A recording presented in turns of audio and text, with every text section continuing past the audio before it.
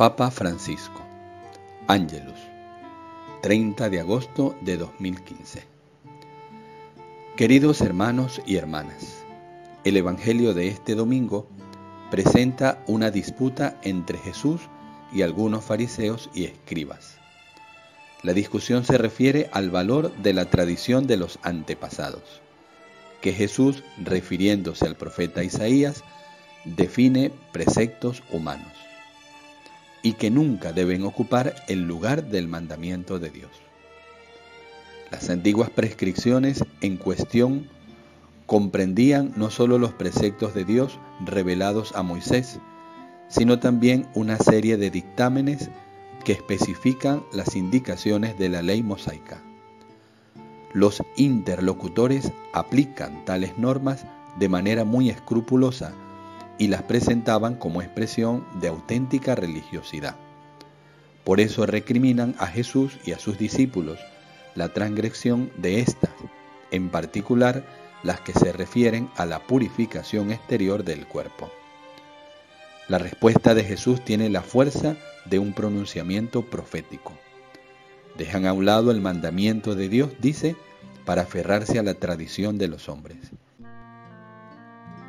Son palabras que nos llenan de admiración por nuestro Maestro. Sentimos que en Él está la verdad y que su sabiduría nos libra de los prejuicios. Pero atención, con estas palabras Jesús quiere ponernos en guardia también a nosotros hoy, del pensar que la observancia exterior de la ley sea suficiente para ser buenos cristianos. Como entonces para los fariseos existe también para nosotros el peligro de creernos en lo correcto, o peor, mejores que los demás por el solo hecho de observar las reglas, las costumbres, aunque no amemos al prójimo. Seamos duros de corazón, soberbios y orgullosos.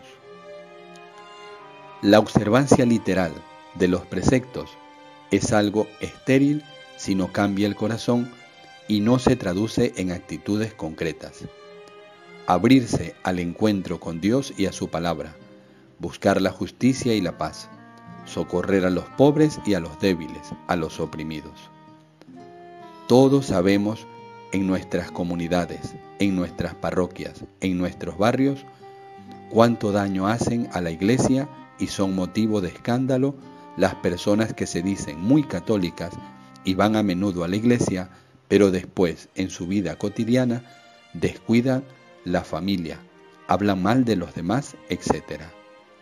Esto es lo que Jesús condena porque es un antetestimonio cristiano. Continuando su exhortación, Jesús se centra sobre un aspecto más profundo y afirma, Nada que entra de fuera puede hacer al hombre impuro. Lo que sale de dentro es lo que hace impuro al hombre. De esta manera subraya el primado de la interioridad, es decir, el primado del corazón.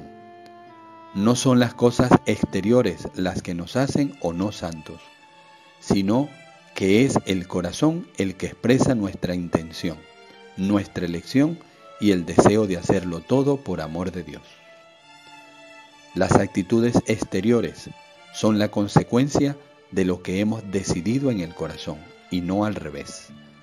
Con actitudes exteriores, si el corazón no cambia, no somos verdaderos cristianos.